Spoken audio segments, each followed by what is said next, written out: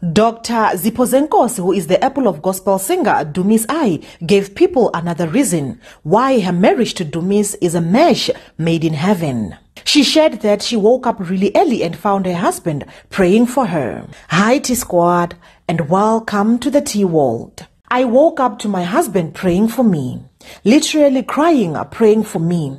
I've never even seen him cry. There was one tear when I was walking down the aisle. There is something so special about not having to mention to your partner that you are not okay, but they feel it and pray for you. Zipho said in an Instagram story. At his squad, the reason she is not okay is the reason most people in South Africa are not okay right now. The doctor said she was so anxious to open Instagram for fear that she might stumble on bad news and see something that will make her heart heavy.